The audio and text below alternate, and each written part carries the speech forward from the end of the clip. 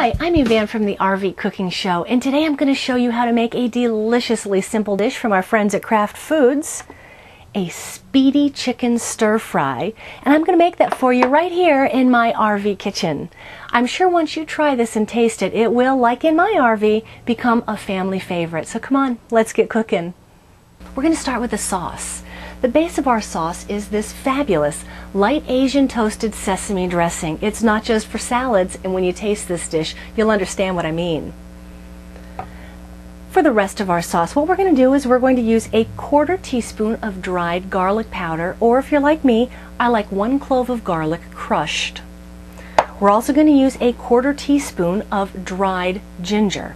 And again, if you're like me, I like the crushed ginger in the jar. So I'm just going to add our half a teaspoon, two tablespoons of soy sauce, and a quarter teaspoon of crushed red pepper just to add a little bit of zing. We're going to add a little bit of canola oil straight to the bottom of our saute pan. It's been warmed up on medium-high heat. We're going to add about a pound of boneless, skinless chicken breast. To our chicken breast, I'm going to add a little something special. I'm going to add strips of red pepper right into the pan.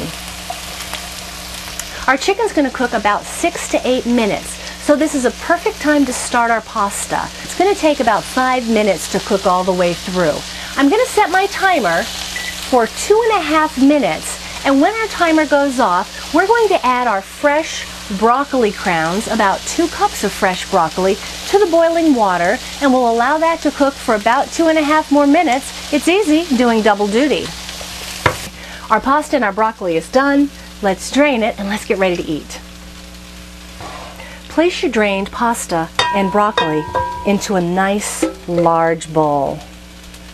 Now we're going to add our chicken and our peppers right on top. This looks wonderful. Next we're going to add our sauce. We're going to add that soy sauce mixture that we made earlier.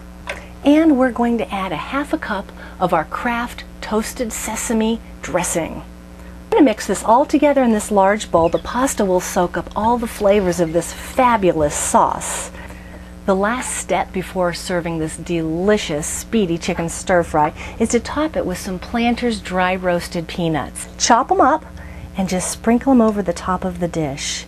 You can find this recipe for Kraft's Speedy Chicken Stir Fry or lots of other great recipes on their website at kraftfoods.com. Make this dish and you'll agree it is deliciously simple every day. We'll see you again next time and happy travels.